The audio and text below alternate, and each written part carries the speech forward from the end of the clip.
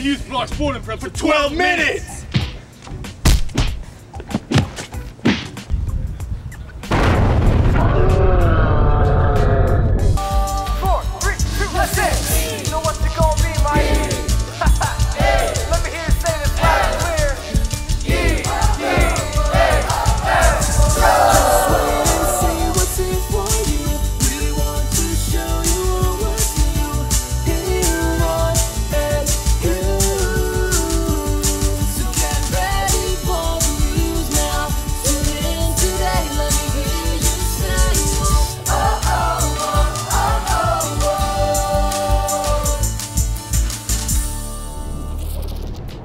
Hey miners, sorry I was so grumpy last show.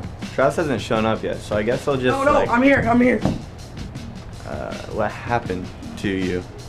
Nothing. I just tripped on the way over here. Why? Do do you realize you're bleeding everywhere? Uh, I think I would know if I was bleeding. No, it's right. Yeah, you got. Well, Travis is cleaning up. Here's announcements. Hey miners, it's Lacey again, and it's time for announcements. Spanish Club meets today in room 609. Interested in academic decathlon? There's a meeting at lunch on Friday in room 353. If you're interested in being an officer, stop by for an application. Juniors, information about senior picks will be presented in the gym Thursday, May 13th. Advanced placement rosters for the year 2010-2011 are posted on student service offices for English literature, biology, government, and Spanish. Don't forget to stop by the attendance office to buy your ticket for Timeless, El Diamante's One Acts, which will be this Friday. Dude, I, I think you missed a spot. Where? It's right. It's right. Oh! I'm sorry, that wasn't called for. It's okay. It happens all the time. Now I feel bad. Anything for Ed Hews. Thanks for looking at it that way. I should slap you more often. Sounds good. Okay, I take that back. This is starting to hurt me physically and emotionally. Speaking of emotions, here's the question of the day. How's that emotional? Hey, what's up? We're back with another random question of the day, and today's question is what's one thing that you can't live without? Sydney Alex Fry. I'd have to say jazz because I gotta have my music. Alicia Ginsburg. Probably football, girls, and jazz. My iPhone. I can't live without you, Josh. I love you. Sydney Fry, probably, most likely. Spray tanning. Uh, there's many things I can't live without, but these two right here. Ah. Food. Oh, he said he can't live without white paint. Probably Sydney Fry. One thing that I couldn't live without is Mr. McGlasson, because he's the best English teacher ever. Music. A toothbrush. I could live without acorns. My mustache. Well, I have to say pockets. The one thing I can't live without, I have to say, is oxygen. All right, that was it for this time. We'll be back next week. See you guys later. Touched my heart for sure. It's good to know you care. Well, I don't, but I put on a good act. What do you care about? Getting that cash flow. Word. Here's a story on the Diamond Drama Production. Hey guys, the drama department will be performing Timeless this Friday at the El Monte Theater. Here's more. Timeless, something that can last forever. In this play, many people experience life lessons that will always stay with us. Timeless is a collaboration of all the drama classes. Um, it's a series of scenes picked um, by Katie Wakowick and Erin Bruning. It's from all of our classes are performing, and it's kind of just has the overlying theme of these scenes are timeless. Like the, these themes go out through time, and they're always they're always something that are relevant. Uh, Timeless is a series of one act scenes that either are making fun of the way that Earth is going in life or they're really um, kind of depressing and kind of make you think about what we're doing. I think students should come because it, it really is relevant. All of these issues are something that you can really think about, and um, a lot of it's going to be really meaningful to everybody. And also, I think some English teachers are giving extra credit. Showtimes will be 3.45 and 7 o'clock p.m. on Friday night, and ticket prices are $5 at Poland's Room 703, the finance office, or at the door. Alright guys, make sure you buy your tickets. See you there.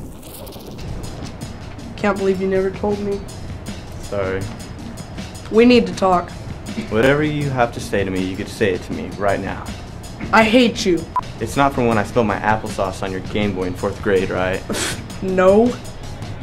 Wait, you spill applesauce on my Game Boy in fourth grade? Here's a story on the dig. I can't believe you spill applesauce on my Game Boy. Hey miners, to find out more about the next edition of The Dig, check this out. So the dig is coming out on Wednesday and it will be online and it's because we're trying to save money for the senior edition. This is the last edition of this year before the senior edition comes out and we have articles featuring the dance show, softball, track, baseball, so you guys should really check it out. This time we decided to make things more efficient and overall more easy to access. So that's why we decided to publish our edition on the new online. And so anyone who wants to know what's going on around campus or the world, you should check it out. Well, that's it for me. I'll see you guys later. No, you started it. The you jar had, of applesauce You was had right the applesauce. No, and you it were wasn't- that wasn't me. I Guys, saw guys, my. guys, guys, guys. Let's not fight. He spilled applesauce on my Game Boy. Travis, you calm down. You have Pokemon for your Nintendo 64 too. What do I do at family events? Just hang out and talk to your family, bro. Yeah, right. Why? It can't be that bad. Oh yeah? Last year they made me stand up in front of everyone and sing Over the Rainbow in front of a bunch of old folks without a shirt. They said I could spread the love. Here's Chris with sports.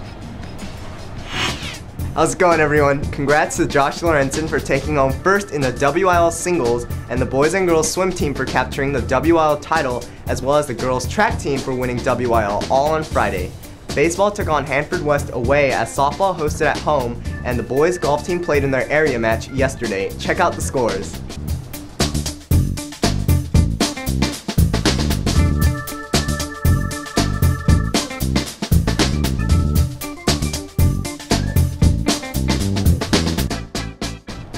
Today, the minor track team will compete in the area meet at Grapetti Stadium, and tomorrow, baseball and softball will be at it again, as baseball will host Golden West at home at 4.15, and softball will play away in Blazer territory at 4.30. That's everything going on for now, so I'll catch all you guys next time.